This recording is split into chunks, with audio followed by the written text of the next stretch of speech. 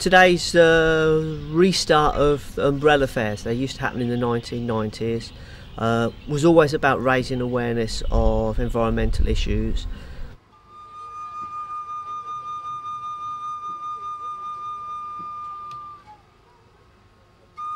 Umbrella comes from the fact it was Greenpeace Friends of the Earth um, and another group I can't remember now got together singularly they weren't really big enough but as an umbrella working together they could put on events. So they put on a number of umbrella events um, which was about bringing the community together to look at issues around environmental awareness climate change. So in the 1990s we were all aware of that and it's really weird 2004 2005 suddenly the government's become aware of it uh, some governments still kind of seem to refuse to acknowledge it. But there is huge environmental problems, huge environmental impact from CO2 emissions, all the stuff that we're doing.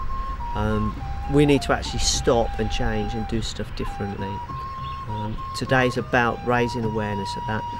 Um, so there'll be some, there are some modern, there's some of the environmental technologies here. We've got solar panels here, we've got wind generators coming as exhibition vehicles, um, recycling is going to be done here, um, you know, all that kind of the stuff which makes, which reduces your carbon footprint, which makes your life a greener life. Um, all those kind of things will be part of what we do today as well as raising awareness of those issues today.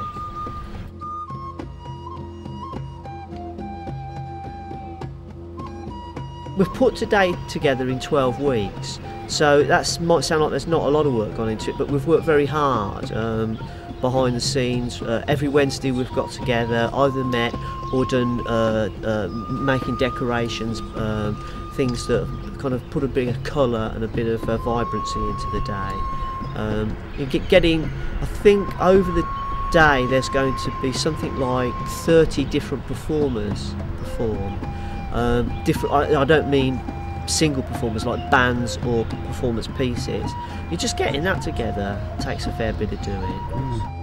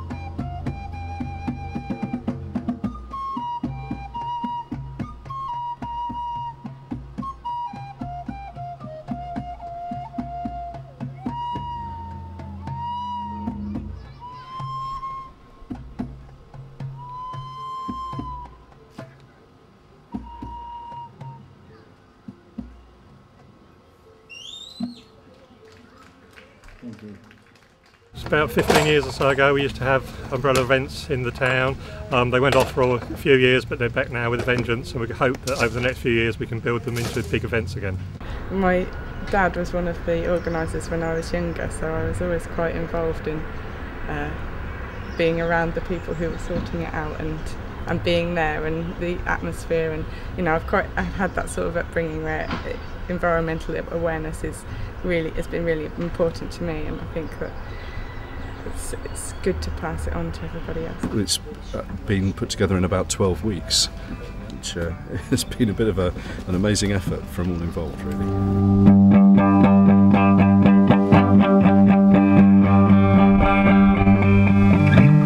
We crossed the borders, made it into friendly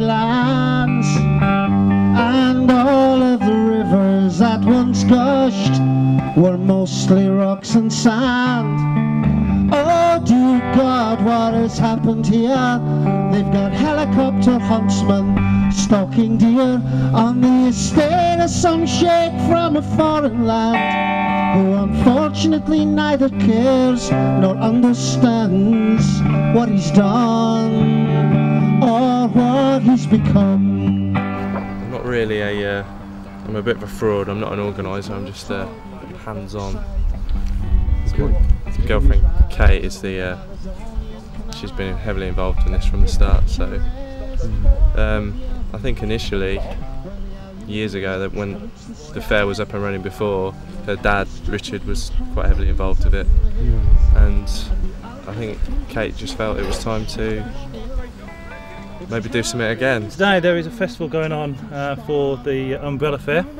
Um, basically, it's a group of people got together 12 weeks ago. Myself, I was involved approximately three weeks ago. Brought in at the last minute to help site manage.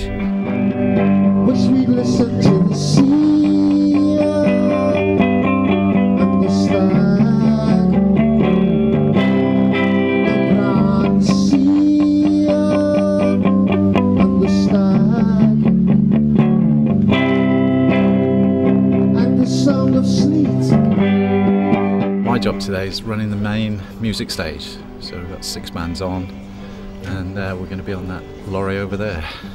I'm just uh, going to do the uh, sound for the performance area.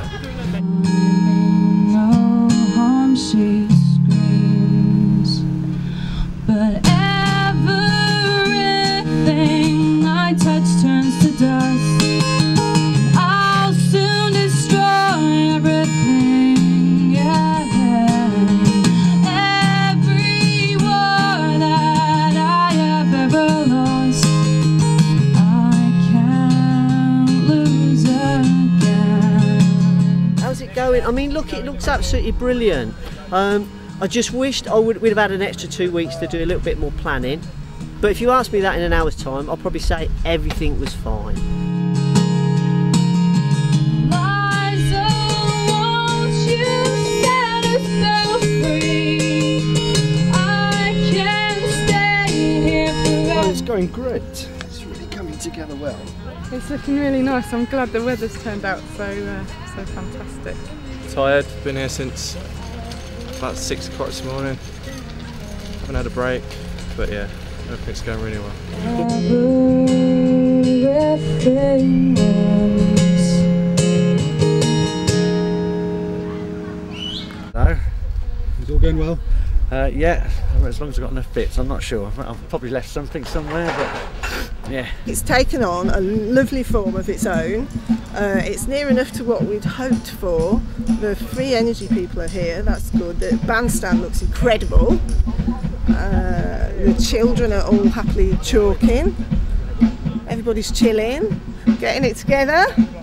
Um, we're doing a vegetarian cafe and we're um, going to have some coffee cakes and chocolate cakes and teas and coffees and little drinks for kids as well. So, and uh, yeah, hopefully everything will be be fine. I've not been involved, but I've come along because I know what it's like on the day. So as many people as possible helping, and it also creates a really nice atmosphere. Come gather now, people, at the time honoured place. Down in a hollow beneath the moon's face. You won't need no money, cause the road is not poor. Come with me and together we'll travel once more. I'm just having a go at putting this yurt up. Um, I think I'll probably end up end up sleeping in it this evening. Get me to the station. Get me to the train on time.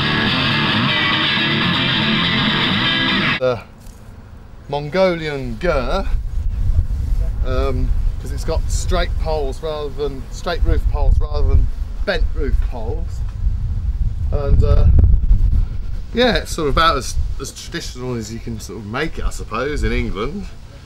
Although I've never seen a traditional Mongolian one, so I haven't got anything to compare it to really.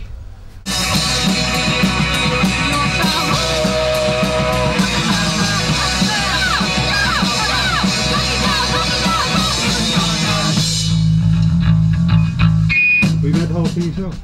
Yeah, pretty much. Um, well, my mum, mum helped me do the, the cover because I had to go at sewing, and I can't sew. I found out, so she uh, she sewed the cover together for us.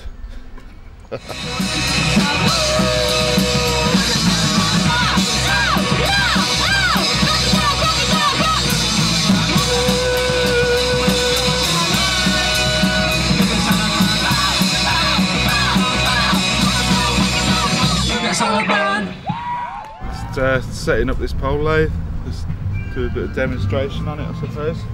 It's an old traditional thing that was done in the woods, so it had to be portable and that.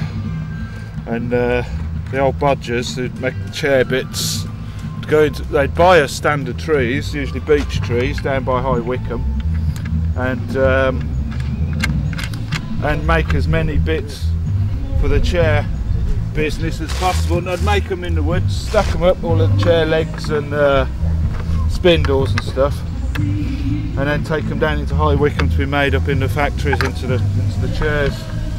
What is the matter with Britain? What is the matter of the land? Won't some small good angels strike a tuning fork so we can realise the chord of love to which we all secretly aspire? I've been wheeled in to do this.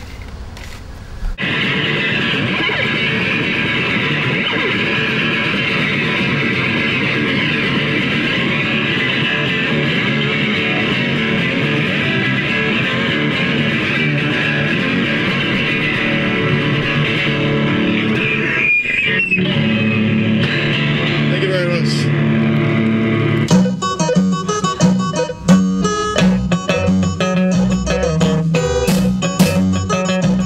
I tell you what, it's all coming together quite nicely, with one small exception. What's that? The generator. We're just getting another generator. Um, so KV is it? KVA 1.2. KVA 1.2 on the very Yeah. It's one of those things that just sometimes catches you out. You need some extra power from somewhere. So they've got a 1.1 at 99 quid and they've got a 2.8 at 199. 2.8 as a Mac, that's that's a pauper.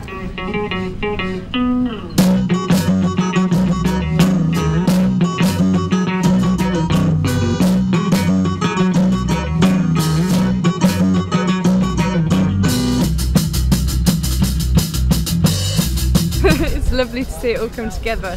Really, really nice. I like it. It's, it's amazing when you've just seen it on paper and it's all been planned for it to finally be real and here. I love it. It's fantastic.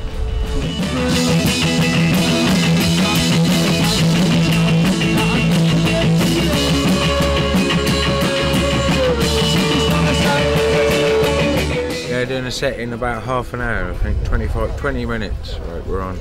I'm just waiting for my vegetarian falafels to be ready, like, and then I should be souped up and on stage. I've already done some Weston's organic cider, like 8.2, so the libations are flowing.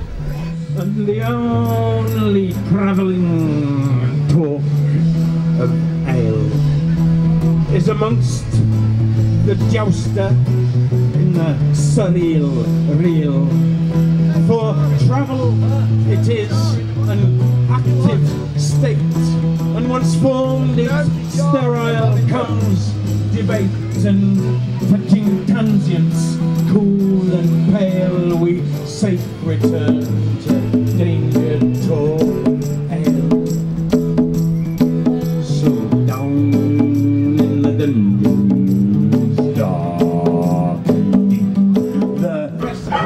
myself some honey beer. I'm gonna be plastered by the time I get home, but it will all be good. It will all be good. It will be seamless. double for sleeping on the street. They dabble in social lubrication, mind expansion, something to ease the ease of no redemption in the now. An industry realm of bedsits land or shared apartments, crusty brand. Our pixies, wood elves, nymphets bide and work to turn the coming tide of profit, loss, morass, and dross, great stack condos replete with moss. The destruction of our green swept land, all post-redemptive ozone banned, where urban guerrillas torn a street in advance of the market shopping fleet with sun-packed raisins. Out of date, but within the price of the welfare state. To support our brethren in a daily chore, a pound for a clip spent at foreign shore, off the general dread of export invasion from the red. Our pixies lack Kalashnikovs, not daily bread. Jim John, Dave.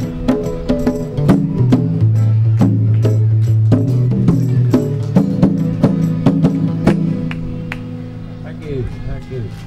just sent a man on a mission to purchase a generator.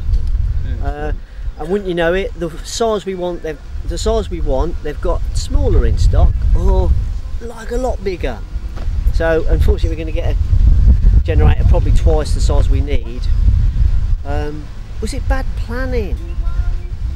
You guys are waiting for them, we're waiting for the flood. Meanwhile, in Cedar Road, there's a wise man got a property that he calls Seaview. One day that water's gonna fall down Jimmy's Inn.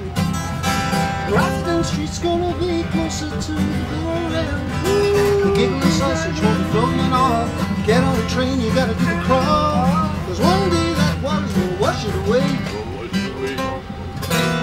Oh yeah. It's our anniversary. Where, what anniversary? Yeah, we've been married now 17 years, 228 days.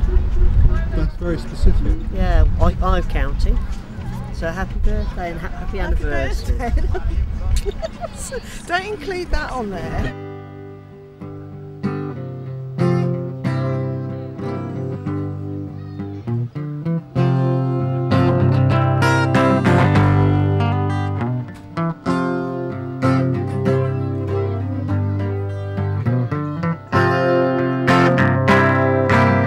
I took an aeroplane to Switzerland.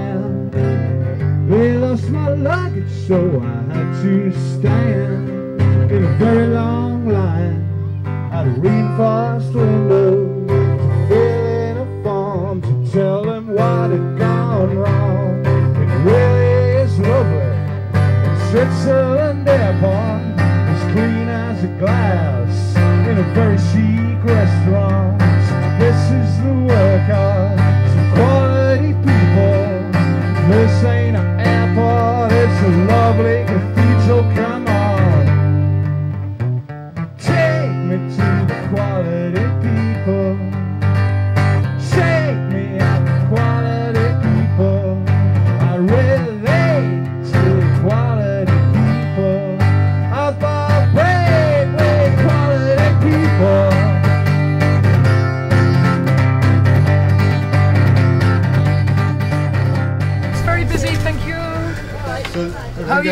everything going doing? well there? Everything, yeah, fantastic. Thank you very much. Superb. Everyone enjoying the food? I think so, no complaints yet, so that's good. Yeah, good. Excellent. Pole lathe held out well? Yeah, well, it fell down twice. Once onto your son's head, but he was all right about it, and once onto another little kid's head. But other than that, yeah. And that's for this. well. Who's this for? Health and safety.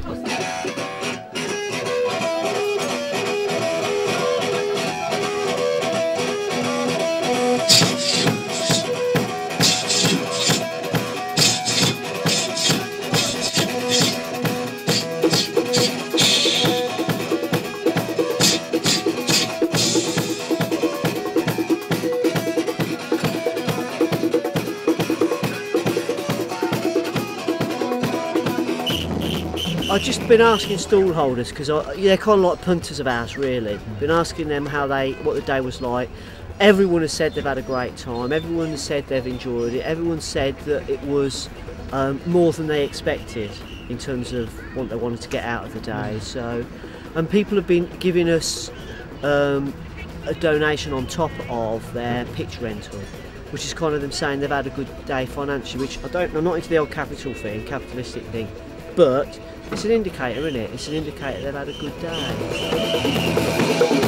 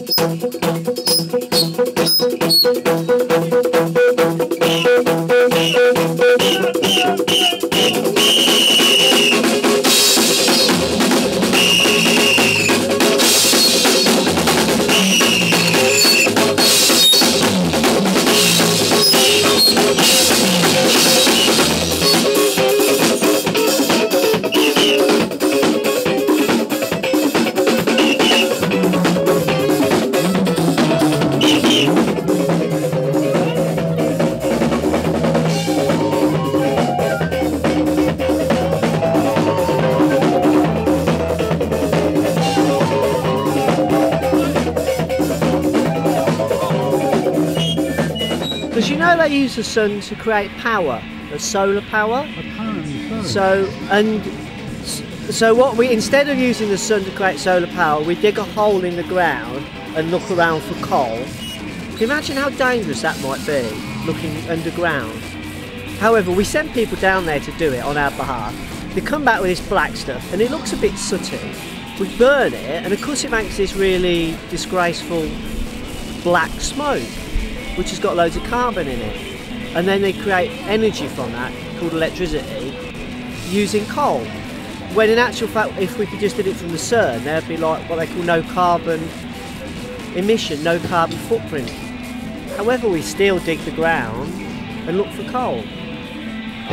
Beyond me,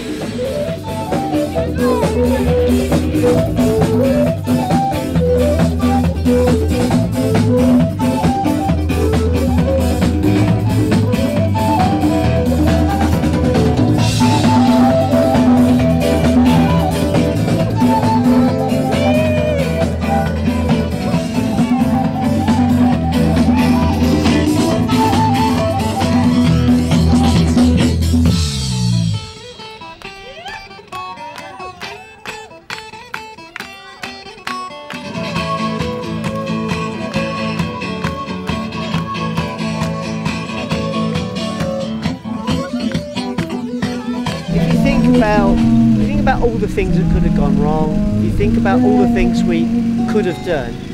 There's nothing that we could have done more. You know, it, it's a, when you get perfect pitch, perfect harmony, when the whole world comes together in beautiful unison, that is here and that is now and it is today. brilliant, a complete success. I'm so happy with it. I just think, I don't think it could have gone any better. I think, oh, I love that everybody has been so positive about it and it's bred so much enthusiasm for next year and wanting it to happen and it's just fantastic. Oh, people have, it, I think the best thing about it um, that hasn't happened for a while is that it's got a lot of people interested in wanting to do more and you know wanting to be involved, which is what it's all about, and that that's the, that's all I could ask for. I think that's the, the best thing that could have come out of it, really. Really, really,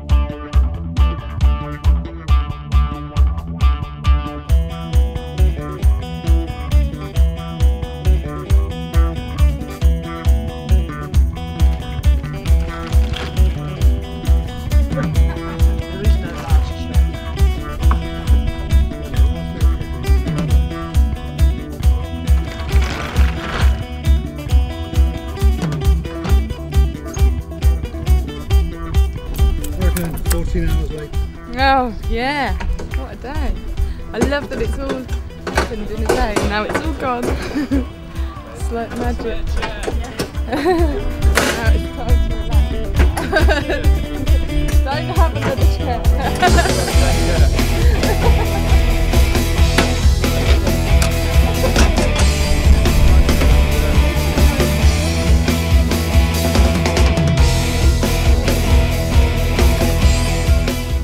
You had a good day? Music went well? Yeah, it went well. It was really good. Really enjoyed it. Yeah. Shattered now.